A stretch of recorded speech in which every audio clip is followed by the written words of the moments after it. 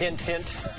Think about that one. That was Anna Gilligan reporting. Thank you very much for joining us tonight. That's the Fox 5 News at 5. I'm Ernie Anastos. I'm Dari Alexander. I'll see you at 10, but time now for the news at 6.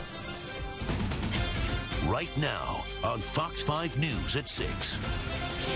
A new honor for fallen civil rights icon Nelson Mandela, the New York City school, which will soon bear his name. Brooklyn's been long known as a hipster haven, but it's also become quite the tourist destination as well. And a shocking number of people still use password as their password.